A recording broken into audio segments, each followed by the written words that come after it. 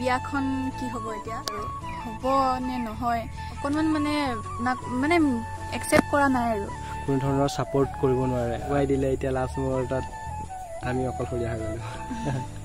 মানে সেই ত্যাগৰ অনুপাতত এতিয়া মোৰ নিচিনাই অৱস্থা হ'ব।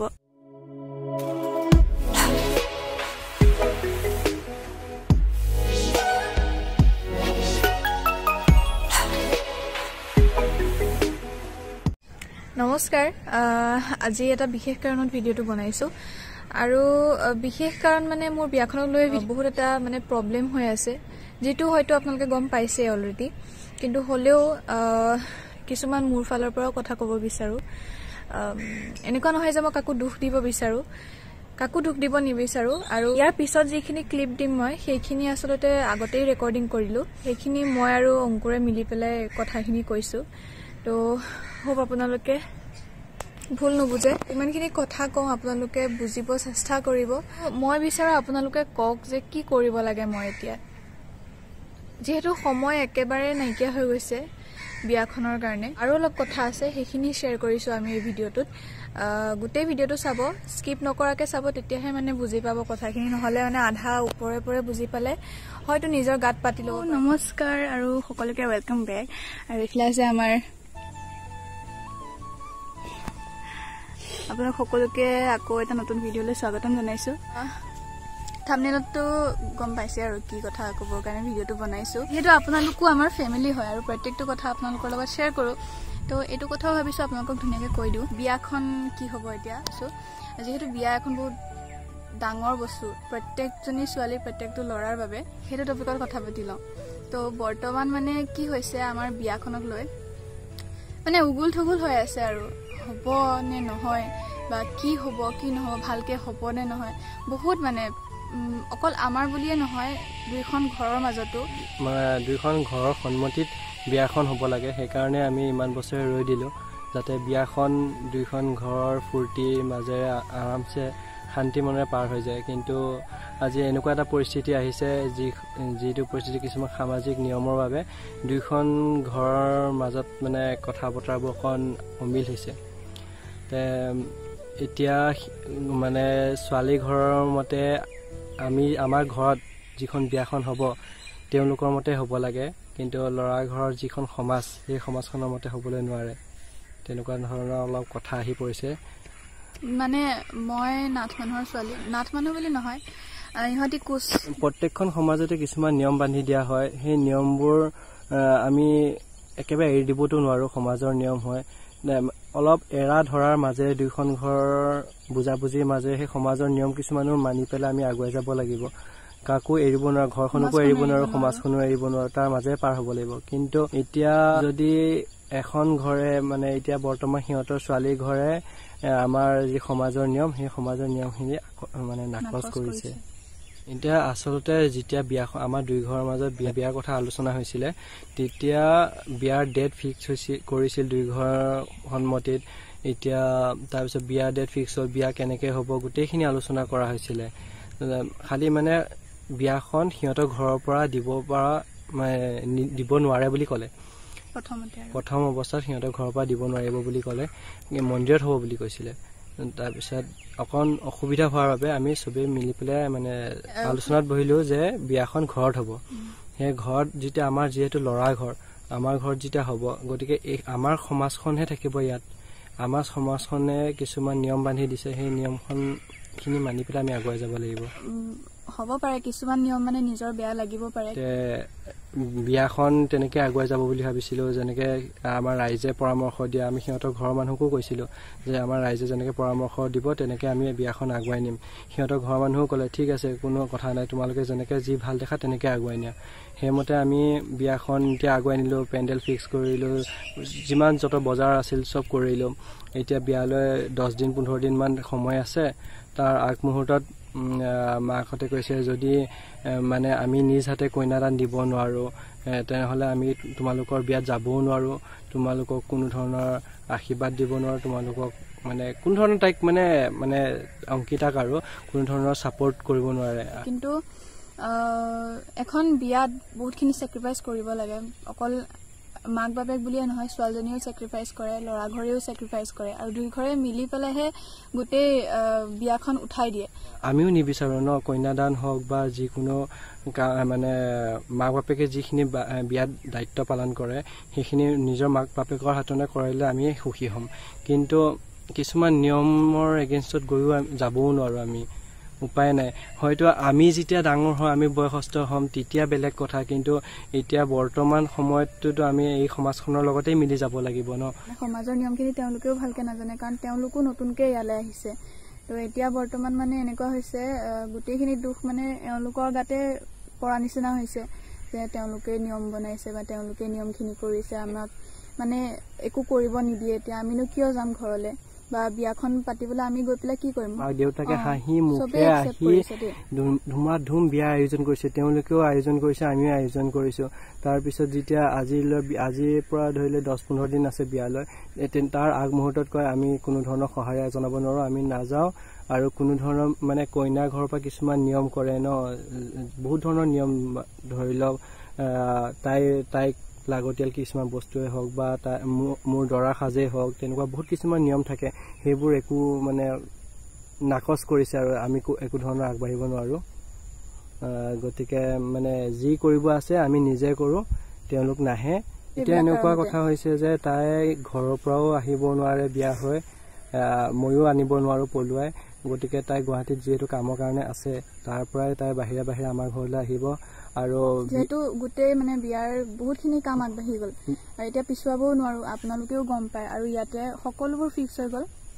এতিয়া সেইকাৰণে মোৰো মানে মই বিপাঙত পৰিছো আচলতে কি কৰিম কি নকৰিম।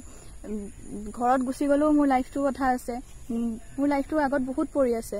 আৰু তাৰ মাজতে এতিয়া যদি বিয়াখন ভাঙি পেলাই মই গুচি যাওঁ বা বহুতে গম পাব যে বিয়াখন ভাঙি গ'ল সিহঁতৰ তেতিয়া যিমান যি হওক ছোৱালী হিচাপে মোৰ নামত এটা দাগ থাকি যাব আৰু যেতিয়া আমি যেতিয়া আঠমঙলাত যাম তেতিয়ালৈকে তেতিয়া তেওঁলোকে তাত এটা ৰিচিপশ্যনৰ নিচিনা সৰুকে এটা পাৰ্টি দিব পাৰিলে হয় আৰু আমাৰ। মা দেউতাহঁতকো কণ্টেক্ট নকৰে মানে বিয়াৰ এখন এখন ঘৰত যেতিয়া বিয়া এখন পাতিয়ে গোটেইখিনি দায়িত্ব যেতিয়া আমাৰ ঘৰৰ মানুহে লৈছিলে যে বিয়াখন আমাৰ ঘৰতে হ'ব। গোটেই দায়িত্বখিনি লোৱাৰ পিছত তেওঁলোকৰ এটা দায়িত্ব আহে যে আপোনালোকে যোজা কৰিছেনে বা কেনে চলিছে বিয়াখনৰ কিমান কাম আগুৱাই গৈছে সেইখিনি খবৰ এটা আজিলৈকে নললে। নিজৰ ছোৱালীজনী বা নিজৰ ল'ৰাটোৰ সুখতকৈ আৰু ডাঙৰ হ'ব নালাগে কিন্তু মা দেউতাকো সন্মানটোত ৰাখিহে মানে ইমানখিনি আগবাঢ়িব লাগে। সেইকাৰণে আমি ইমান দিনে ৰৈও আছিলো। আজি দহ বছৰ হ'ল আমাৰ হাত পোৱা কিন্তু এই দহ বছৰ আমি যুঁজি আছিলো যাতে আগুৱাই যাওঁ মানে একেলগে আগুৱাই যাম সেইকাৰণে ৰৈ আছিলো ইমান দিন। অ, কিন্তু লাষ্ট মুহূৰ্তত তেওঁলোকেও তেওঁলোকে লাষ্ট মুহূৰ্ত বুলি নহয় আজিৰ পৰা দুই তিনি বছৰ হ'ল আমাৰ ঘৰত অহা যোৱা থাকে। আপোনালোকে ভিডিঅ'বোৰতো দেখিছে ময়ো তেওঁলোকৰ ঘৰত যাওঁ আমাৰ মা দেউতাহঁতো যায়। পুৰা ধুনীয়াকে চলি আছিল খালি সমাজৰ কিছুমান নিয়ম তেওঁলোকে অমান্তি কৰিছে যাৰ কাৰণে তাইক অকল একাষৰীয়া কৰি দিছে। এতিয়া বৰ্তমান তাইৰ লগত কোনো ধৰণৰ সম্পৰ্কই ৰাখিব নিবিচাৰা হৈ গ'ল। এতিয়া যি আছে চব এতিয়ালৈকে মানে এইটো ঘটনা হোৱা মানে ডেৰ মাহ মান হ'ল এতিয়ালৈকে বহুত কান্দিলো। কিন্তু আজি আচলতে মোৰ মনটো শান্তিহে লাগিছে। আপোনালোকক মানে কথাখিনি যে ক'ব পাৰিছো আমি মানে ভাবি আছিলো মাহঁতে মানিব। মানিব মানিব। তাৰপিছত তাৰপিছত হ'ব দিয়া মানে যিমানে যি নহওক ন নিজৰ ছোৱালী হয় কিমান দিন খং কৰি থাকিব। সেই বুলিয়ে মই তাইক কৈছিলো যে মাহঁতক কোৱা যে সমাজৰ নিয়মখিনিতো সমাজে চলাবই। আমি আমি দুইখন ঘৰ মিলি থকাটোহে আচল কথা। আচলতে আৰু আমি মন্দিৰতো কথা মানে বিয়াখন পাতাৰ কথা ভাবিছিলো দুই ঘৰ মিলি পেলাই পাতিম বুলি ভাবিছিলো। আৰু তাৰ পিছত আমি ভাবিছো মানে আমি কৈ- তেওঁলোকক জনাইছিলো যে এবাৰ আমি সমাজখনক জনাব লাগিব বিয়াখন মন্দিৰত পাতিলেও এবাৰতো জনাব লাগিব ন আমি যিহেতু সমাজখনতে থাকো। কিন্তু তেওঁলোকৰ তেওঁৰ মাক অসুস্থ হৈ আছে। তেওঁলোকৰ মাকৰ অসুস্থ আৰু সিহঁতৰ ঘৰত তেনেকে যো-জা কৰা মানুহৰ অভাৱ। গতিকে আমি ভাবিলো যে তেওঁ কষ্ট নাপাওক। আমি দুইঘৰ তাৰপিছত আলোচনাত বহিছিলো। আলোচনাত বহি সিদ্ধান্ত লৈছিল যে বিয়াখন আমাৰ ঘৰতে পাতক। আপোনালোকে যেনেকে পাতক আমি তেনেকে সুখী বুলি ক'লে। তাৰ পিছ মুহূৰ্তত তেওঁলোকে ঘৰত মানে ইয়াত আলোচনা কৰি পেলাই যেতিয়া ঘৰত গ'ল কি হ'ল কাৰ লগত কেনেকে কি কথা পাতিলে নাজানো। তাৰ পিছ মুহূৰ্তত মানে তাৰ মানে এনেকুৱা হ'ল আমি নাথ মানুহক আমাক নিদিয়ে কন্যাদান কৰিব। এইবোৰ ইমান ধৰি ৰাখিব নালাগে আৰু। দুই ঘৰ যদি মিলি আছে আমি যদি সুখী মা দেউতাক যদি আমি মাক সুখী কৰিব পাৰিছো সেইখনে বহুত ন? আমাৰ বাবে সেইটোৱে বহুত আছিলে। কিন্তু এতিয়া চাগে তেনেকে সম্ভৱ নহ'বগে আৰু। সেইটো কাৰণতে মই এতিয়া গুৱাহাটীত আছো। আৰু মোৰ ঘৰৰ মানুহ সেইকাৰণে দেখা নাই। ভাইটিক দেখিছে ভাইটি অহা যোৱা কৰি আছে। কিন্তু হ'লেও আমি আশা এতিয়াও ৰাখিছো বিয়া দিনালৈকে ৰাখিছো। নাজানো আৰু কি হয়। সেয়াই আৰু মানে কি বুলি ক'ম আৰু ক'বলৈ ভাষা নাই আৰু। একো নাই আমাৰ ঘৰৰ মানুহ আছে নহয়। দহ বছৰ যুঁজিলো দহ বছৰৰ পিছত মান্তি হ'ল দহ বছৰ মানে আজিৰ পৰা দুই বছৰ তিনি বছৰ আগত মান্তি হ'ল মানে সাত বছৰমান যুঁজাৰ পিছত মান্তি হ'ল দুই ঘৰ মানুহ। তাৰপিছত আহ যাহ হ'ল আলোচনা হ'ল বিয়া কথা আগুৱাই দিলে এতিয়া লাষ্ট মুহূৰ্তত আমি অকলশৰীয়া হৈ গ'লো। এতিয়া মানে এতিয়া উপায় নাই আৰু কাৰণ বিয়াখন যিহেতু চবেই গম পালেই। আৰু এতিয়া গম পোৱাৰ পিছতো আৰু পিছুৱাই থাকিব নোৱাৰো।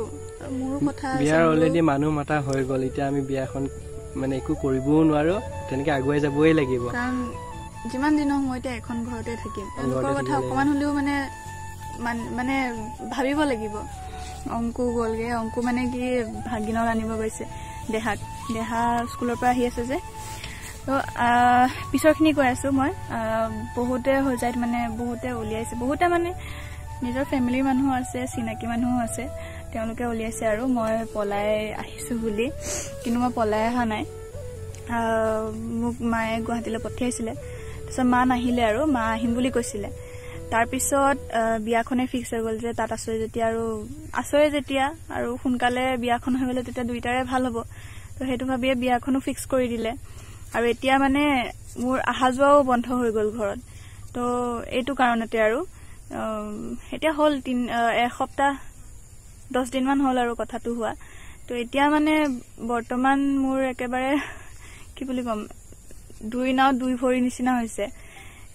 না ইফালে যাব পাৰোঁ না সিফালে যাব পাৰোঁ। এতিয়া মানে বহুত বিপাঙত পৰি গৈছোঁ মই। কিন্তু কি কৰিম এতিয়া উপায় নাই। মই পিছুৱাই থাকিবও নোৱাৰোঁ বিয়াখন। ঠিক হ'ল যেতিয়া আৰু।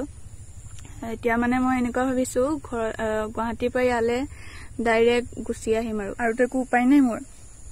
কাৰণ এনেও ইয়ালৈকে অহা কথাই আছিলে। খালি মানে অকণমান নিয়ম চিয়ম কৰি পেলাই অনা কথা আছিলে আৰু আঙুঠি পিন্ধা অনা কথা আছিলে কিন্তু এতিয়া সেইটোও নহ'বগৈ।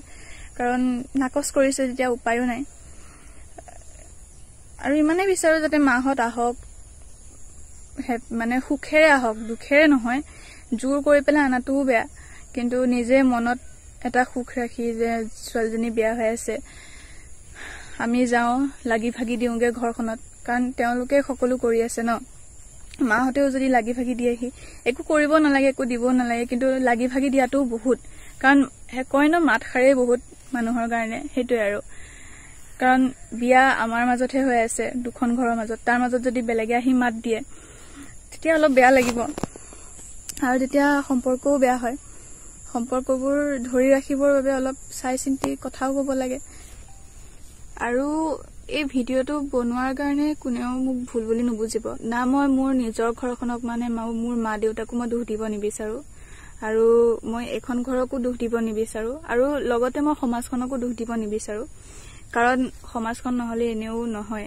যিমান যি নহওক এতিয়া বৰ্তমান সময়ত এইবোৰ নিয়ম অকণমান যদি কম হ'ল হয় কিজানি আমাৰ এইবোৰ এতিয়া নহ'ল হয়।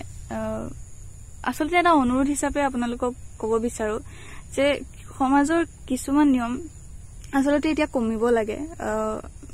যিমান যি নহওক এনেকুৱা প্ৰব্লেম হ'লে প্ৰত্যেকজনী ছোৱালী বা প্ৰত্যেকটো ল'ৰাই বহুত ত্যাগ কৰিবলগীয়া হয়।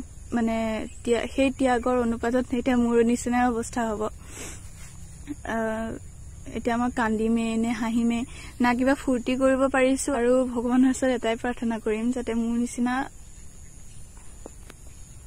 কাৰো নহয় আৰু। এনেকুৱা হলে বহুত ছোৱালী আৰু বহুত ছোৱালীয়ে বহুতখিনি হেৰুৱাব। আগতেও হৈছে আগতে যিমানখিনি হৈছে সেইখিনি যাতে আৰু নহয়গে তাৰ বাবে। কিন্তু মই সমাজখনক দুখ দিয়া নাই। কিন্তু হয়তো কমাব লাগে আৰু এইবিলাক নিয়ম আজিকালি। বৰ্তমান দিনত আগবাঢ়ি যাব লাগে প্ৰত্যেকজন মানুহ। আৰু মিলি পেলাই আগবাঢ়ি যাব লাগে। এতিয়া এনেকে যিমান যি নহওক ছোৱালী এজনীৰ লগত যদি নিজৰ মাক বাপেক নাথাকে দুখ লাগিব আৰু প্ৰত্যেকৰে দুখ লাগে। ইমানে আৰু আৰু বেছি ক'ব নোৱাৰো মই। ইমানখিনিয়ে আছিলে আপোনালোকক মানে ক'বলৈ। বুজিছে চাগে আপোনালোকে আৰু। ভিডিঅ'টো বহুত দীঘল হৈ গৈছে আৰু দীঘল কৰিব নিবিচাৰোঁ। লাইক নালাগে আপোনালোকে কমেণ্টেই দিয়ক আৰু কি বিচাৰ কি ভাবে আপোনালোকে মোৰ এই পৰিস্থিতিটোৰ ওপৰত কি কৰিব লাগে মই? সেইটো কমেণ্ট কৰক। খালি মানে গালি নিদিব। এই গালি বস্তুটোলৈ মোৰ বহুত ভয় লাগে। ইমানখিনিয়ে আছিলে। ভিডিঅ'টো সমাপ্ত কৰোঁ আৰু। তে টাটা বাই বাই। আকৌ লগ পাম নতুন ভিডিঅ'ৰ সৈতে। তেতিয়ালৈকে বাই বাই।